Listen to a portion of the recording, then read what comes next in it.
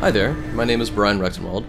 I'm an environment artist working in the video game industry with over 11 years of experience at studios such as LucasArts and currently Naughty Dog.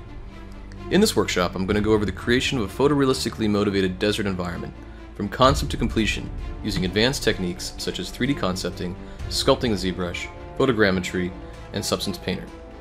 This scene is going to be assembled in Unreal using real-time GI.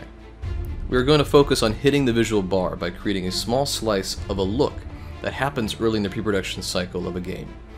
While optimization and game design are always taken into account at the inception of AAA games, hitting the visual bar first is often the top priority by experimenting and utilizing the latest in tools and techniques.